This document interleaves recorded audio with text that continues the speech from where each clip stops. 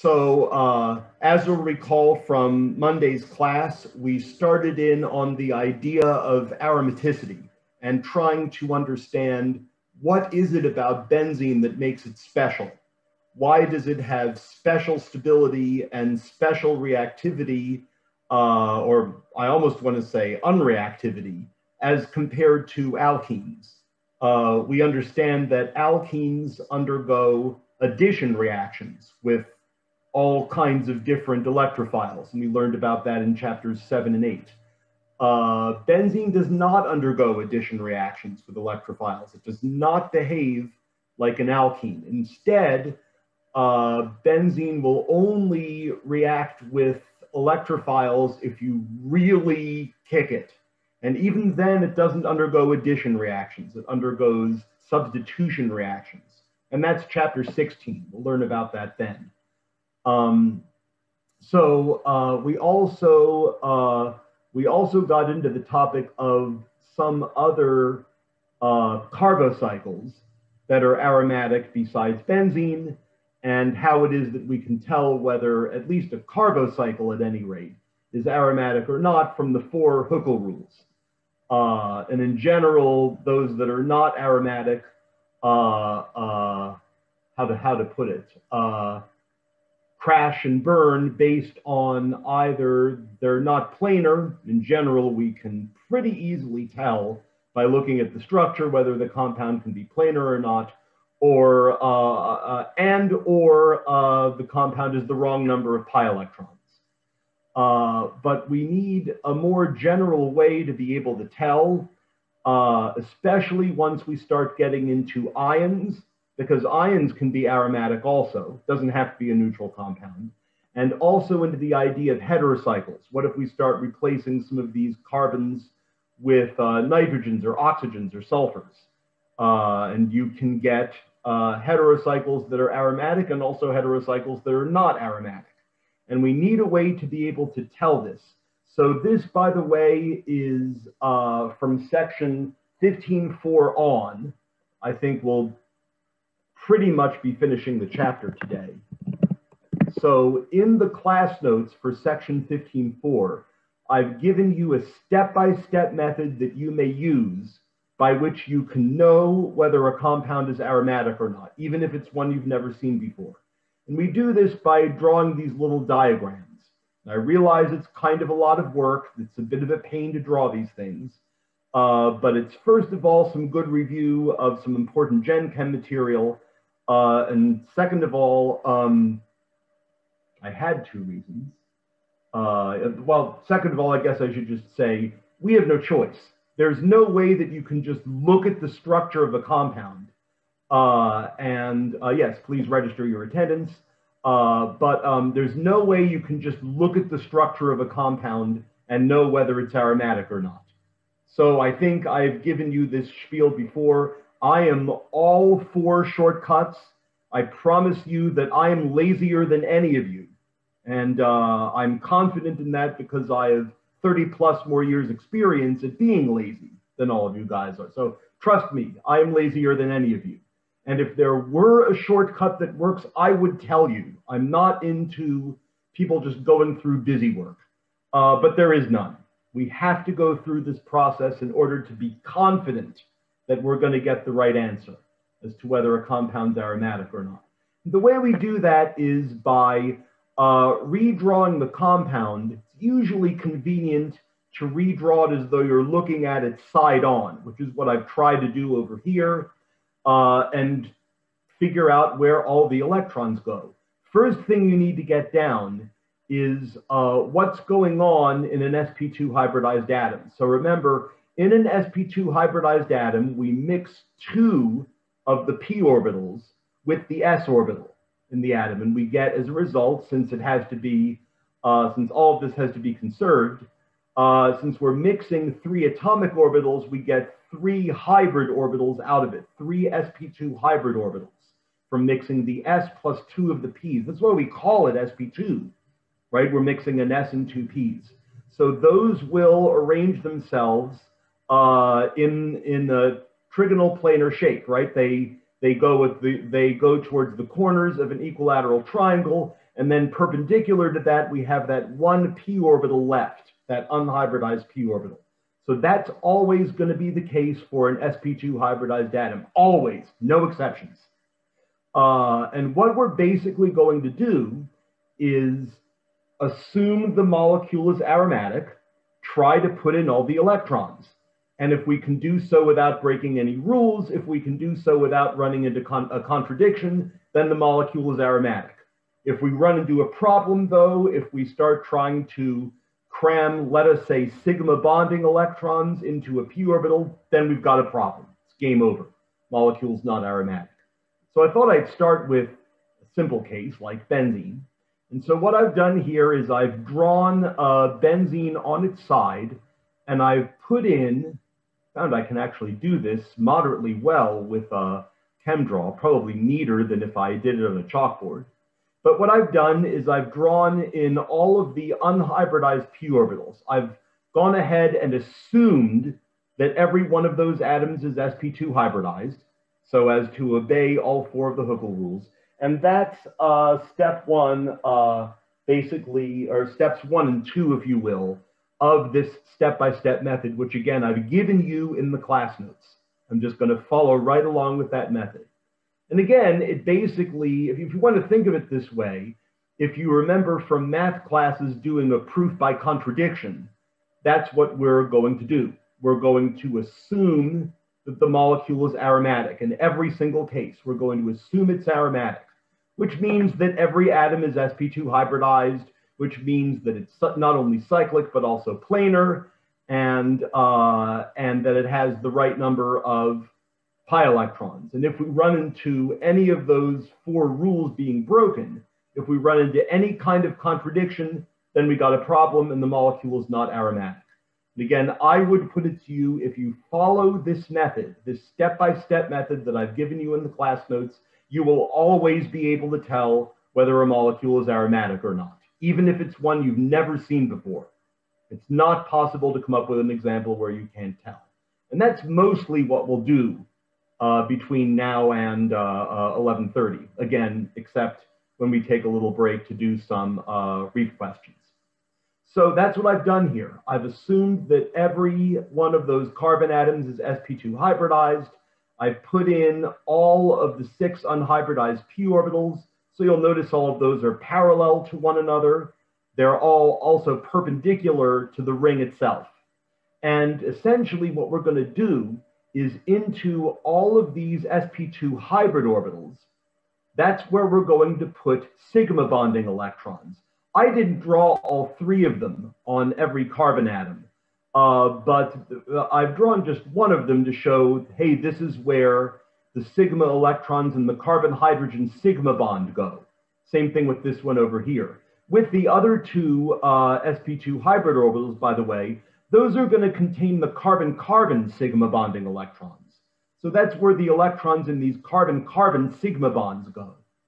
And so every one of those carbon atoms will have uh, two, uh, sorry, three sp2 hybrid orbitals. You could show them if you like. They would be overlapping here in these carbon-carbon sigma bonds. So that only leaves the pi electrons. And how do we know how many there are? Well, we look at the structure, two, four, six, right? There's a grand total of six pi electrons, and we can drop them in one by one to each of these six p orbitals. Remember, with p orbitals, there's three things that are allowed. The p orbital can be empty, that's allowed. The p orbital can have one electron, or the p orbital can have an electron pair. All three of those are allowed. Uh, and I mentioned, let me just get this in front of me. I mentioned in the class notes uh, that you might have been told some, some nonsense to the effect, in, in Gen Chem that is, to the effect that if, a, if an atom has two bonds and two lone pairs or three bonds and one lone pair like oxygen and nitrogen atoms respectively, that those atoms must be sp3 hybridized. That is not true. Uh, those atoms can be either sp3 or sp2 hybridized. And so this doesn't just apply to carbons. But again, all of this is in the step-by-step -step method that I put in your class notes. And we'll get to cases in a short while that have uh, heteroatoms. Uh, we'll start with still carbocycles and maybe looking at some ions. We'll do those first. Uh, but basically, as you can see that what I've done here is I've assumed that the molecule is aromatic. In so doing, I had to assume that every ring atom is sp2 hybridized, and I'm not running into any problems. Uh, I'm putting the six pi electrons as one each in each of those six unhybridized p orbitals. I've got places to put all the sigma bonding electrons, both the sigma uh, uh, bonding electrons between carbon and hydrogen, and also the sigma bonding electrons in these carbon-carbon sigma bonds. As for the carbon-carbon pi bonds, those six electrons go into each of those unhybridized p orbitals respectively. So I've used up all the electrons, they're all accounted for. All of the electrons in carbon, hydrogen, and carbon, carbon sigma bonds are accounted for. They're going to go into these hybrid orbitals uh, on the sp2 uh, hybridized carbon atoms and into each of the six p orbitals, unhybridized p orbitals respectively. We'll put one of the six pi electrons. And with that, we've used up all the electrons. I don't see any contradictions. Uh, it's working out just fine for all of the carbon atoms to be sp2 hybridized. The only thing that's really going to prevent an atom from being sp2 hybridized is if there's four sigma bonds. If there's four sigma bonds, game over. The, the, the atom rather has to be sp3 hybridized. So we learned that hopefully in Gen Chem. So that's the only condition for which an atom can't, not just carbon, any atom, cannot be sp, sp2 hybridized. If there's four sigma bonds to the atom, and this is in the class notes also, so I've written it down for you. But if there's four sigma bonds, then the atom has to be sp3 hybridized. Uh, uh, then that's fine, but I also wrote it in the class notes. So, uh, so it's all there. Everything you need to know is there in the class notes. Uh, and, and it's not the sort of thing that they emphasize in Gen Chem, but, uh, but uh, let me just make sure. Yes, that's in the first step of the step-by-step -step method. I, I hate to read you from my class notes. Check to make sure there are no ring atoms, and we'll do examples like this so that you'll know what it looks like when you get there. Uh, check to make sure there are no ring atoms that have four sigma bonds. Uh, such an atom must be sp3 hybridized, and according to Huckel's rules, game over. If you run into an atom that's sp3 hybridized, game over. What would an example of that look like, and how would you know? Well, let's consider cyclopentadiene, just the neutral molecule.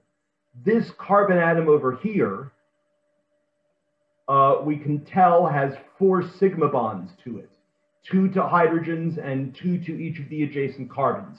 Those have to be sigma bonds carbon-hydrogen bonds can't be anything other than sigma bonds. So since we have an atom with four sigma bonds, that atom must be sp3. Game over. This molecule is not aromatic. One of Huckel's rules says that all of the ring atoms have to be sp, sp2 hybridized. We've run into a contradiction. That atom has to be sp3 hybridized because it is four sigma bonds. So that's how we know that molecule is not aromatic we don't even really need to go as far as uh, making the diagram. We could if we wanted to.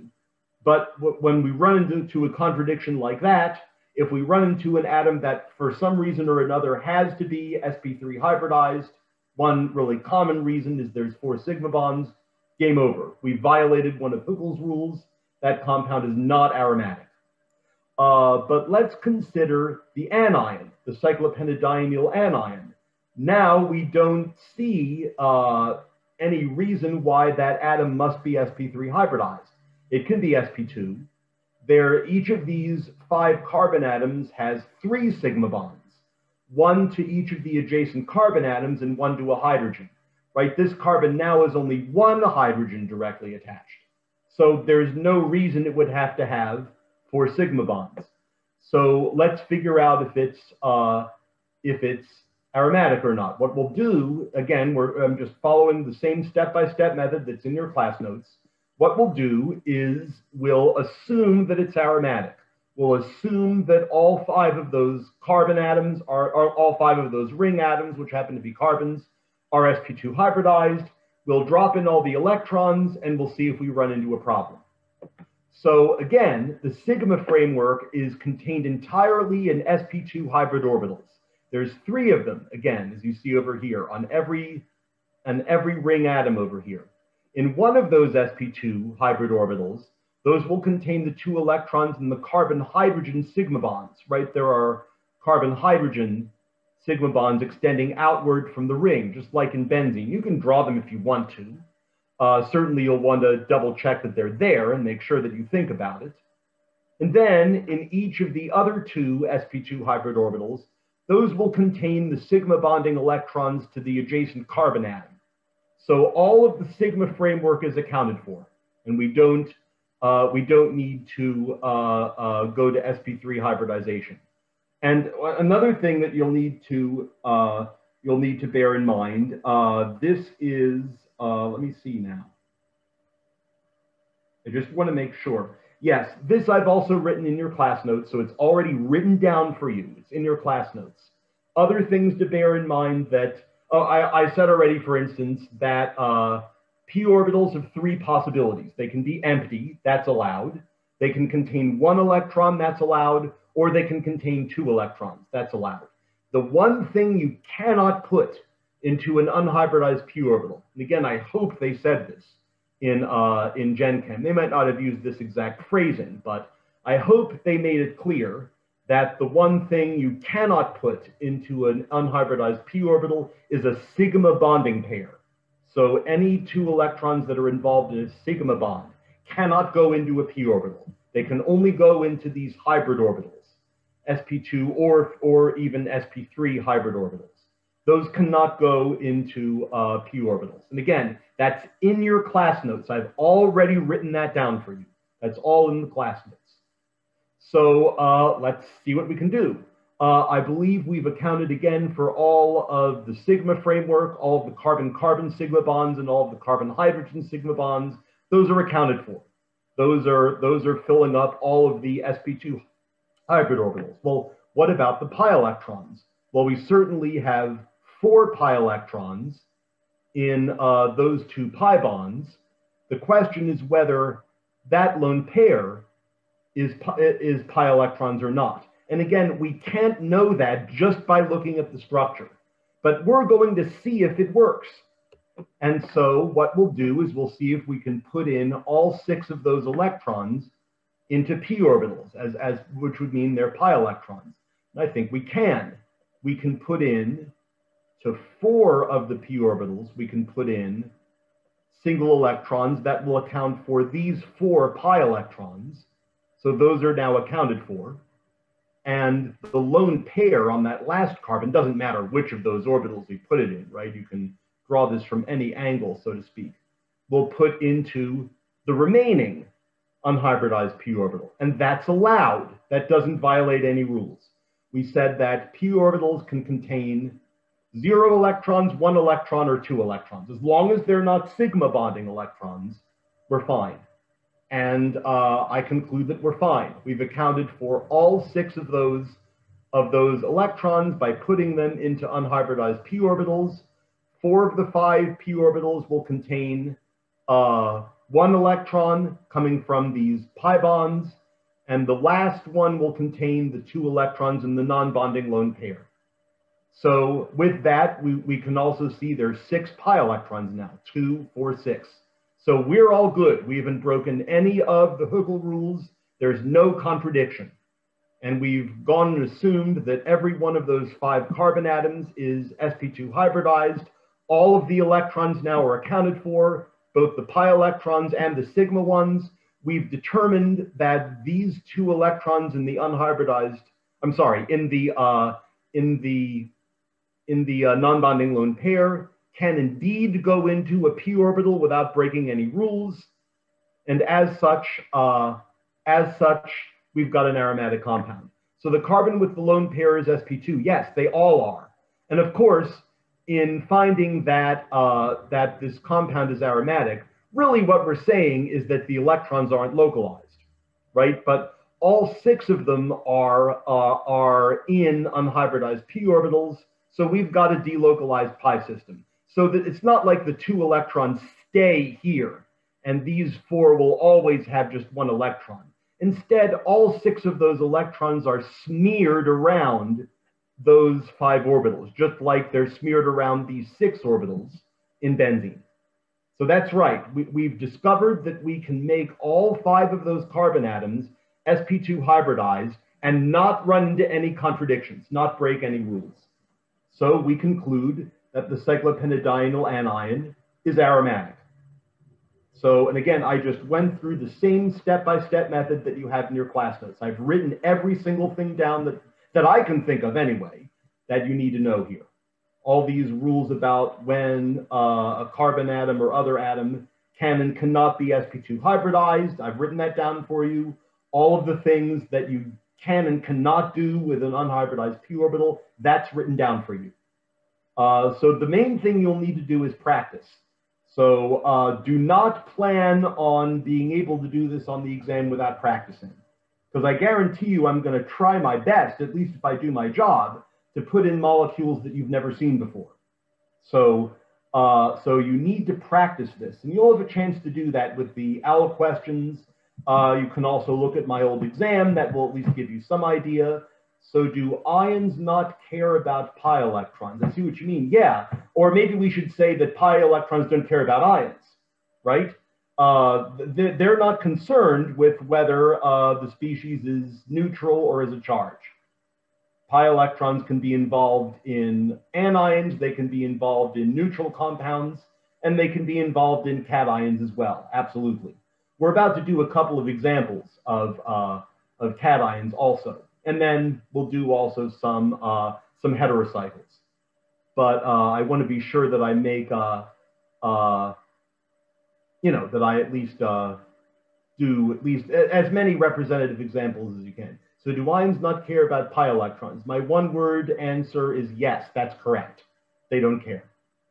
Good, uh, but what if we were a little bit perverse and instead of the anion, we looked at the cation, which would look like this.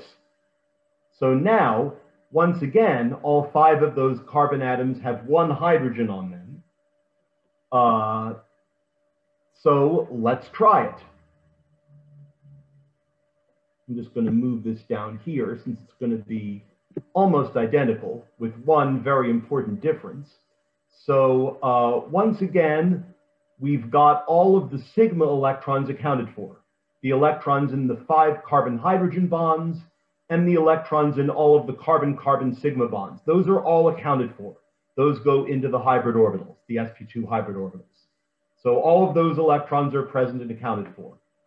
What's left? Well, we've got the four pi electrons in those two pi bonds, and that's it. So we put those four electrons in any four of those five unhybridized p orbitals that you like. Doesn't have to be those four. You can rotate that diagram however you like, and it's the same thing.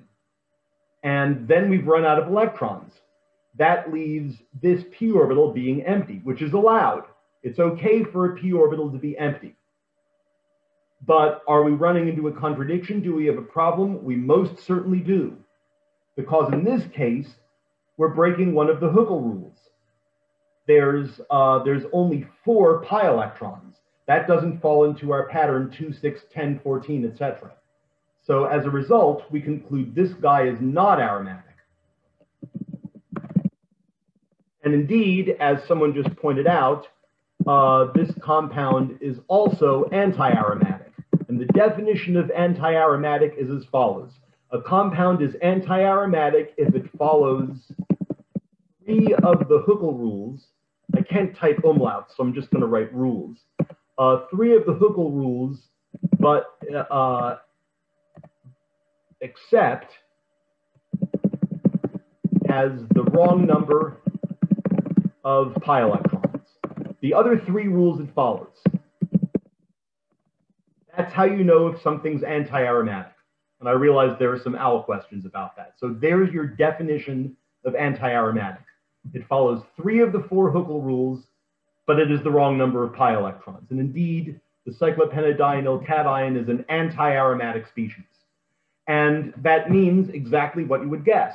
just as uh, an aromatic species, like the cyclopentadienyl anion, that one is aromatic. So we would expect that anion to have extra stability above and beyond we would have expected, uh, above and beyond what we would have expected is, uh, is going to be there for such a compound. Can you explain how the cation is sp2? Two ways. First of all, using this step-by-step -step method, we're going to assume that every atom in the ring is sp2 hybridized. So that's how you know you can do that. Uh, but the second part is, uh, let me remind you all that any carbocation is going to be sp2 hybridized anyway. So there's no contradiction there. Uh, even sort of a, uh, you know, if you looked at, uh, let's say the tert butyl carbocation.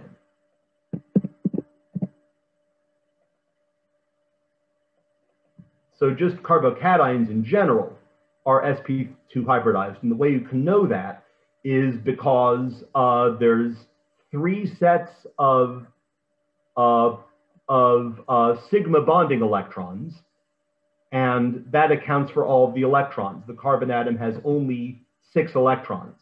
So if you recall that, then you, that's how you can know that it's okay for that atom to be sp2 hybridized being a carbocation does not prevent a carbon from being sp2 hybridized. Indeed, it has to be sp2 hybridized.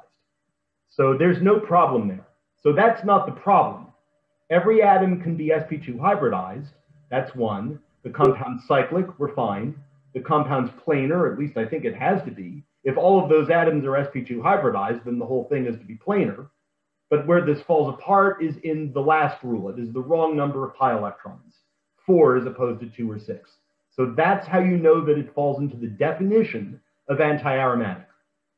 So uh, I would say, uh, I'm not going to say you don't have to know that, but I would say let's first get down answering the question, is the compound aromatic or not? Let's get that down first. Then we can later worry about if it's anti-aromatic. And the way you do that is by applying that definition that I've written down for you. If it follows three of the rules except it is the wrong number of pi electrons, it's anti-aromatic. Now, uh, this compound over here, just plain cyclopentadiene neutral, that is not anti-aromatic. That's just not aromatic.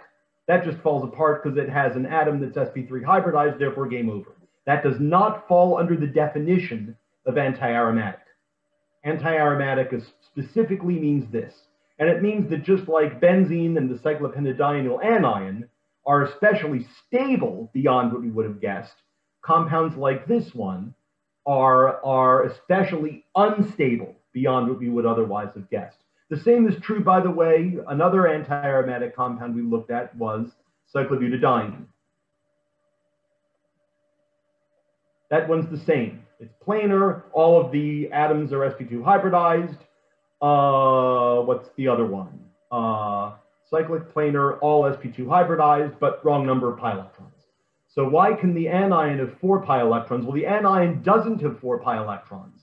The anion has six pi electrons because that electron pair is included in the, uh, in the um, uh, no, it's a good question. It's included in the pi system, which again, you cannot possibly know that just by looking at the structure. There is no shortcut. You have to draw one of these diagrams. And the question was, could we put those two electrons also in one of those unhybridized p orbitals and wind up with it working, or will we get a contradiction? The answer was it worked. So we're good. That compound's aromatic, has the right number of pi electrons. So you can't tell just by looking at a structure whether any given lone pair is in the p orbital or not. There's no way you can know that just by looking. And we'll look at other examples once we get to uh, some of these um, heterocycles in particular. So um, by the way, I'll, I'll leave you with uh, an exercise for you to look at on your own. What if we went to a seven-membered ring and made this one a cation? That's a very famous uh, cation. That one's uh, uh, the old name they used to call this the tropylium cation. That's the old name. That was like through maybe the 60s. But uh, now we generally call it the cyclohepta triennyl cation. And it would be a good use of your time to convince yourself that this species is aromatic. And uh, you will run into a problem. What have I just done?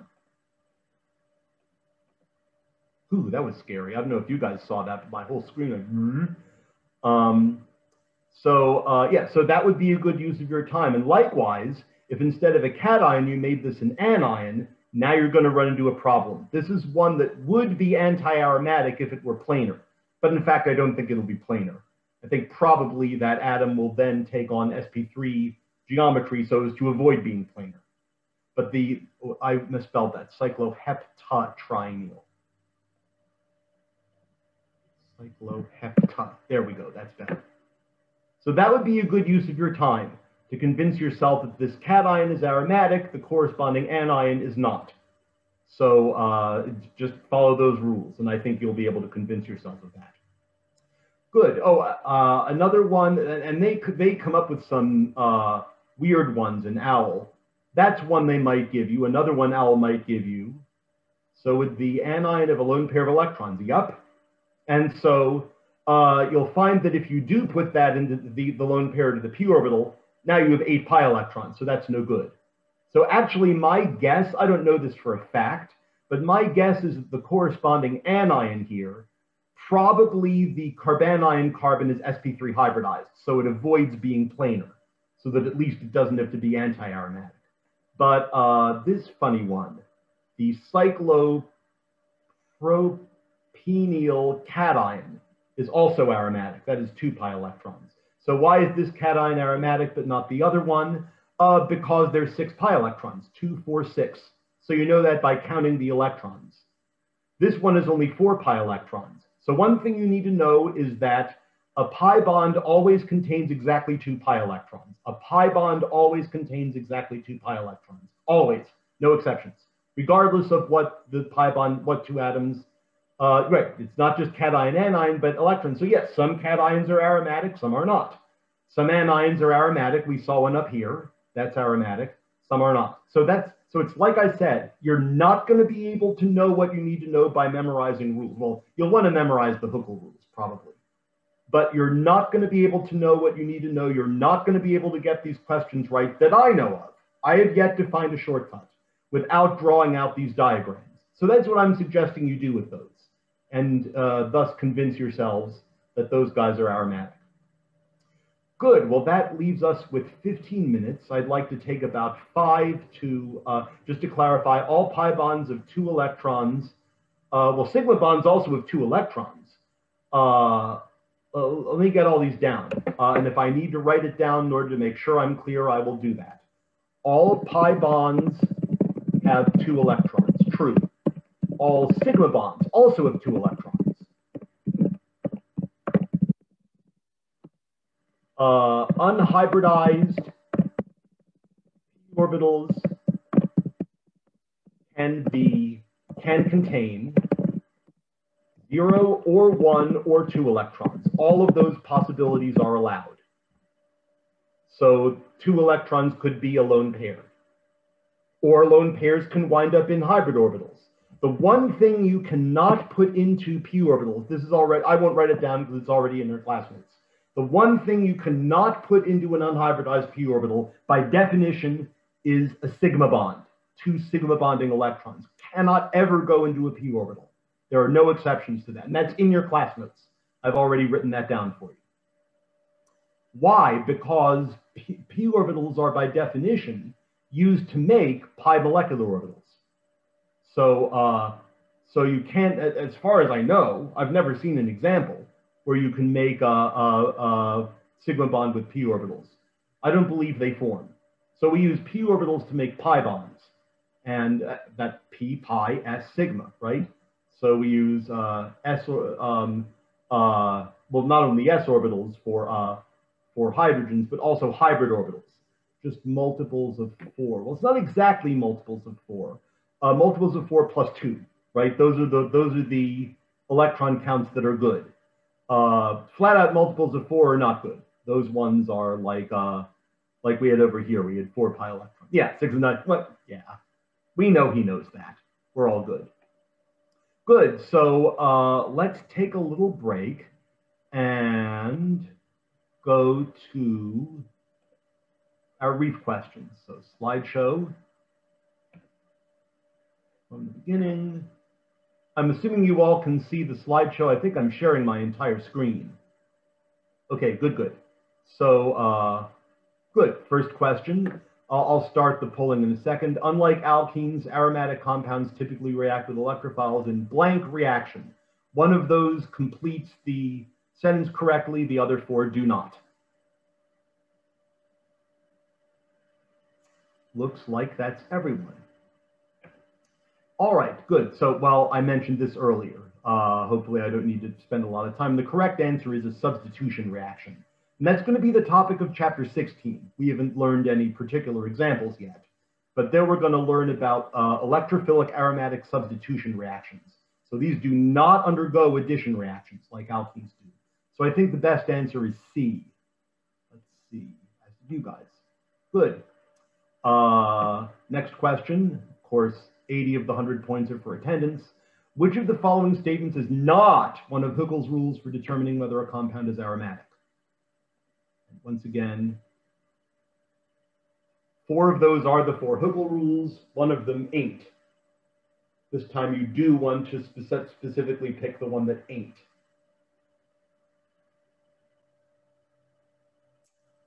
I think that's the last one. Good. Well, again, hopefully I don't need to spend a lot of time uh, explaining these. The four Huckel rules are B through E in some form. Uh, but no, a compound does not have to be uh, uh, catch. Well, I might have an extra uh, webcam somewhere, but uh, we already sort of have one when we need it.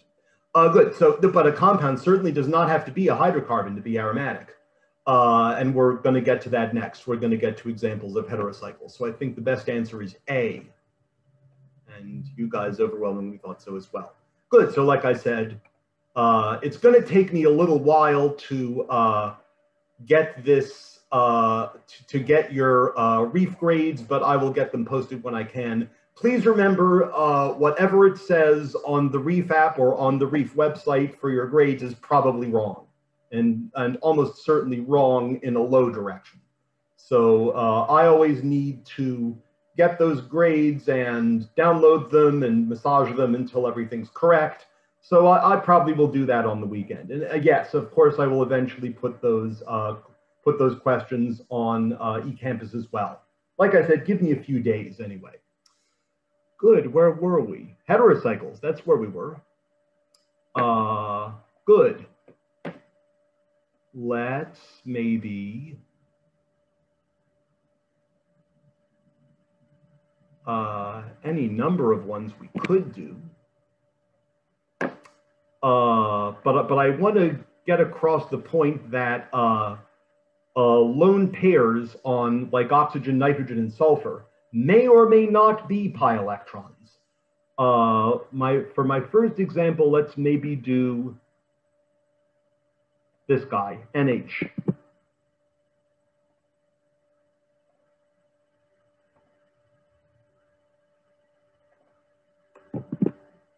In case you're curious, this compound happens to be called pyrrole. I really don't care if you know that, but that's what it's called.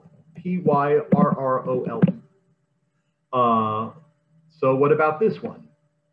Well, what we'll do is we'll treat it just exactly like we treated uh, a five-membered carbocycle. And it certainly, whoops, certainly looks suspiciously like the cyclopentadienyl anion. But uh, let's see. So again, we'll follow the same step-by-step -step method. We're going to set it up, set up our diagram, and we're going to assume it's aromatic and see if we run into a problem. And uh, I think you'll find very quickly that there's not a problem. We're all good. So let me put, uh, I'm going to draw out the, I'm going to put the nitrogen over here. I don't, you can put it wherever you like, but I'm going to put it over there. And I think you'll find that, of course, the two nitrogen carbon sigma bonds here, those four sigma electrons, will go into the hybrid orbitals, will go into two of the three hybrid orbitals on the nitrogen. That last sp2 hybrid orbital on nitrogen, of course, will contain, messing me up now, of course, will contain the nitrogen-hydrogen bond. So uh, with that, I believe we've taken care of all of the sigma electrons. That nitrogen-hydrogen bond works out just like all of the carbon, all four carbon-hydrogen bonds. Those electrons are sitting in the sp2 hybrid orbitals, as are uh, as is the sigma framework of the five-membered ring, all of the carbon-carbon bonds and the nitrogen-carbon bonds. So all of the sigma electrons are accounted for in putting these four electrons into those four uh, p orbitals, we've accounted for these four pi electrons. So the only question is, can we put that lone pair into a p orbital somewhere and have six pi electrons for an aromatic system? And I think you'll agree the answer is yes. They can go into that fifth and last p orbital. And so as a result, we now know that those two electrons in the lone pair are pi electrons, and we add up to six, two, four, six. So this guy is aromatic. Why can't or don't you use the bottom half? Oh, well, they're all the same orbital, right? I, am only using the top half because it's not shaded. It's a little easier to see. They're doing that to try to show you that they have, uh, that uh, they have opposite signs of the wave function or something like that, which is not really anything we need to obsess over, I don't think.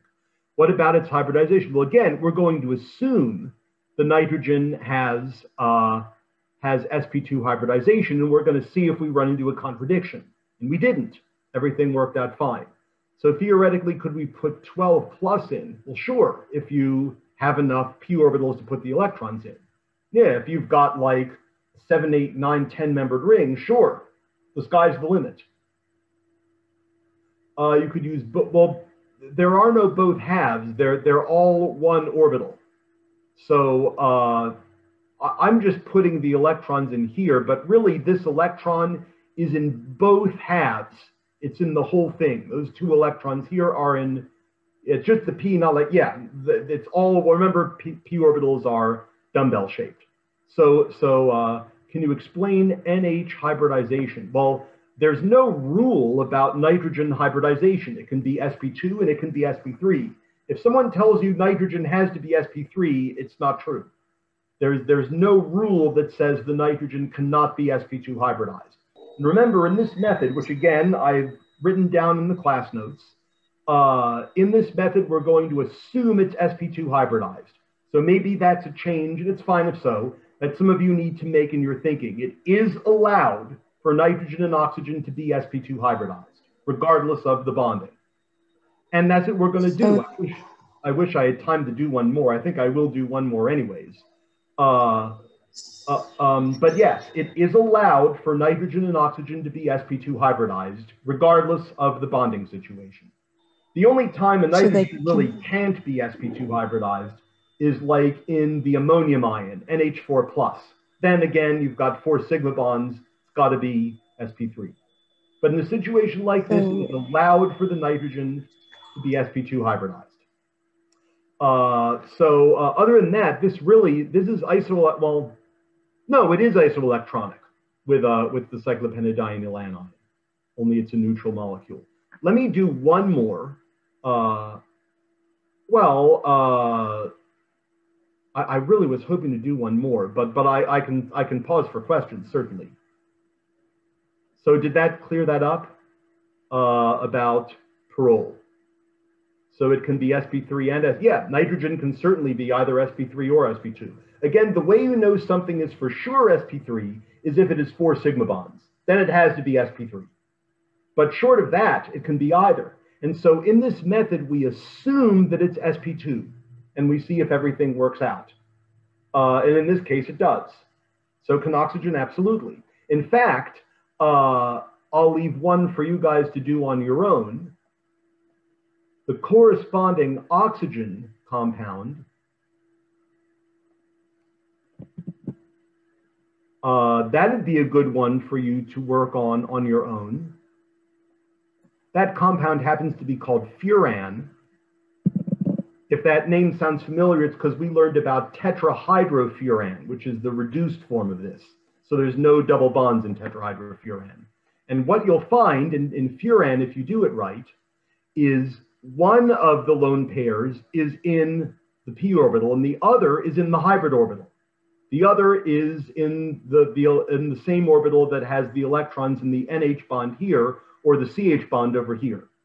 So what you'll find is one of those lone pairs is, is pi electrons and the other is not. Like I said, just looking at the structure, there's no possible way to know that. You have to make one of these diagrams. So furan is indeed aromatic. Uh, I really am out of time. I would, I would love to do one more though. How about we do, so you only count one of the lone pairs for furan, and you wouldn't have known that beforehand. N or O will make the hybrid orbital, absolutely. They can be sp2 or sp3 hybridized. There's no rule that says N and O have to be one or the other. The only rule, I guess, would be, like I said, for an ammonium compound. In that case, the nitrogen is four sigma bonds, game over. It has to be sp3. Let's do one last one. Let's look at pyridine, which is something we learned about last term that was a solvent we learned about. Uh, and it might seem like uh, this one's going to look like benzene. Yeah, furan's aromatic, absolutely. So is thiophene. Thiophene is the sulfur version. Same thing, but instead of, uh, of an oxygen, we've got a sulfur. So let's look at pyridine. Uh, lot of that is going to look just like uh, benzene, except that we're replacing one of uh, the carbons with a nitrogen. So instead of CH, we'll just put a nitrogen in. I'm putting the nitrogen here. You, you sure don't have to. You can put it into any one of those six positions. But there's our pyridine. Uh, looks like, once again, just like with benzene, we have six pi electrons, two, four, six. So we can put those, geez, NH2. We can put those into uh, those, those six electrons into those unhybridized p orbitals, just like we did before. But, but sp2 hybrid orbitals need to contain pairs, either bonding pairs or non-bonding pairs. So looks like we've accounted for all of the six pi electrons in the three double bonds, what's the only thing left? Well, the, the uh, lone pair on nitrogen, do we have a place for that without breaking any rules? We sure do. We can put that lone pair into this sp2 hybrid orbital over there. And that's allowed. sp2 hybrid orbitals can have either bonding or non-bonding pairs. All that's listed in the rules in the step-by-step -step method. So, uh, so we're good. Uh, so pyridine is aromatic, just like benzene. Uh, the six pi electrons in the three pi bonds are accounted for, and the lone pair on nitrogen, in this case, that those are not pi electrons. So we couldn't we couldn't per se break up the pair and put it in some of those. You mean into the p orbitals, where there's no room for them. What would be the, what would the case be where you couldn't add the lone pairs? Uh, well, you always have to add them somewhere. The question is, can you put the lone pair into p orbitals? Here we know that we can. Can the p orbitals have different numbers of electrons? Yes, we saw an example of that in pyrrole and in, uh, in um, cyclopentadienyl anion. So it's like I said, I'm seriously over time, I apologize, but, uh, but you're gonna need to practice this. There is no way, there's no list of rules you can memorize involving what you can and cannot do with lone pairs. There is no list of rules you can memorize involving what N and O can do. You simply have to make these diagrams on a case-by-case -case basis. But you'll get a chance to do that in the OWL assignment. So uh, that's what I would recommend. Other than that, I have to let you guys go. Uh, but I will see you all on Friday. Are, are we doing carbon NMR? Are we starting 16 and Friday? We are starting 16 and Friday. So that's what we will do. Other than that, have a great day. We'll see you all later. I guess this afternoon and evening I'll be in my office if anyone would like to show up.